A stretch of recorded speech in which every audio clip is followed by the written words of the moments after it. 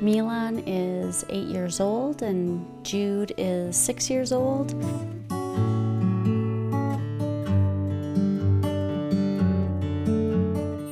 When we first had them, well, especially when we first had Milan, which is our older one, he uh, was quiet. Just it was a lot of quietness, and I'd notice all the other children were talking, talking, talking, and there was never that in our household. And Jude, I mean, we wouldn't have even caught Jude's uh, uh, special need unless uh, we had Milan. I first heard of New Heights through a friend of a friend. So just through talking with, um, with a friend about our situation, she had a friend who was uh, very happy with New Heights and told me I should talk to her. New Heights School and Learning Services um, is actually three programs within the New Heights Society.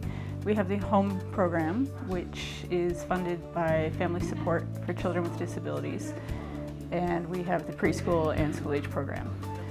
Children who attend our program either have a diagnosis on the autism spectrum or similar learning challenges, um, whether it's communication, challenges with social skills, or sensory processing. To have a, a place like New Heights to, to, be compassionate and to, to give answers, to provide support, it, uh, it made all the difference for us.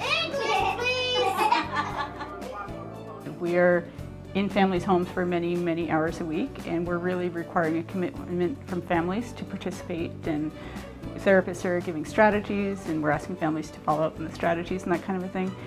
And Tina Marie and Keith have been incredible advocates for their children, and their participation is crucial. And they've, you can see what a wonderful success both of their boys are.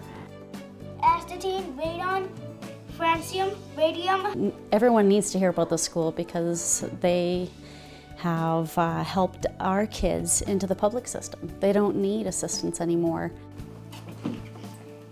The greatest dancer.